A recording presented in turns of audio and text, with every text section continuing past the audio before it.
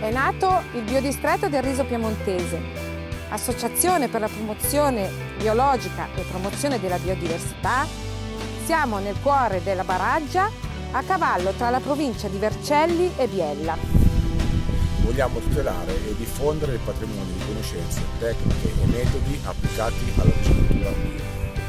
Come la pacciamatura verde, ideata da mio padre Fulvio Stocchi, che devo ringraziare, che attualmente è utilizzata da quasi tutti nel biodistretto. Ci impegniamo a tutelare il territorio di Baraggia con le sue peculiarità uniche, come l'Isoetes malinverniana, una pianta in via di estinzione con una grandissima importanza dal punto di vista del biologico, essendo l'unica felce endemica italiana presente ormai quasi esclusivamente in Baraggia, spesso nei pressi delle risaie biologiche. Isoetes è un indicatore ecologico, ovvero un organismo vivente particolarmente sensibile all'inquinamento ambientale.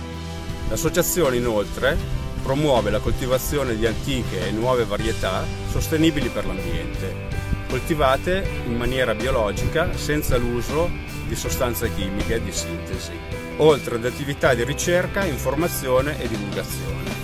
La costituzione del biodistretto è un primo importante passo per sostenere lo straordinario percorso avviato con grande coraggio dai risicoltori biologici di Rovasenda e di Baraggia per produrre riso in armonia con le leggi della natura.